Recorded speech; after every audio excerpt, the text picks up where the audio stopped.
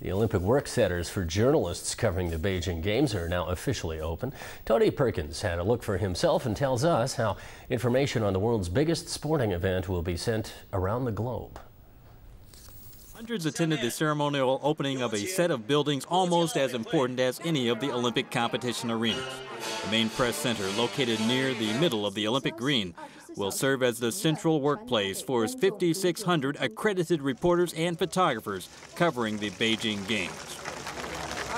We wish to thank BOCOG because they have made great efforts to deliver excellent services for the press. It is from here that the story, these stories of Beijing 2008 will be told. Stories also of how China and its people got to better known and understood through the spotlight this amazing event, Olympic Games will shine.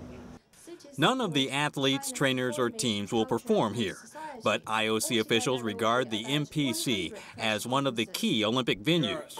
It's designed to help journalists from around the world tell the dramatic stories that rise from every Olympic event. Five large halls will host news conferences. 30 elevators and escalators connect four separate floors of offices and workspace.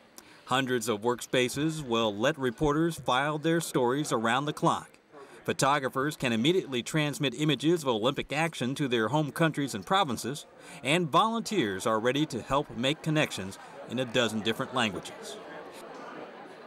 In addition, as many as 12,000 radio and television journalists will produce their work out of the International Broadcast Center, or IBC, next door to the MPC.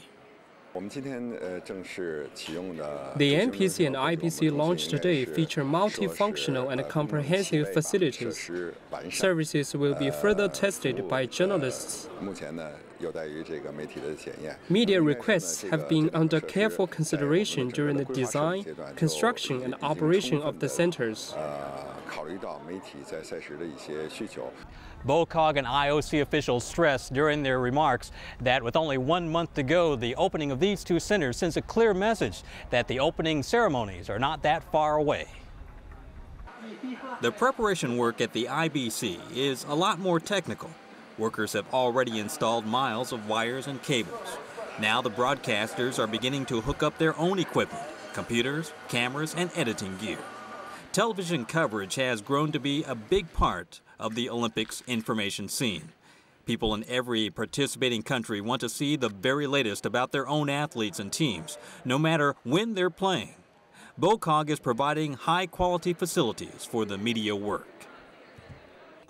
The two buildings on the Olympic Green are joined by the off-site Beijing International Media Center, or BIMC. It's the nerve center for 20,000 journalists who will arrive without official media accreditation. But Olympics organizers want all of the press accommodations to be more than simple workspaces. The media centers will serve as high-quality homes away from home for journalists who will work long hours, delivering the human drama of the Summer Games. Tony Perkins, CCTV.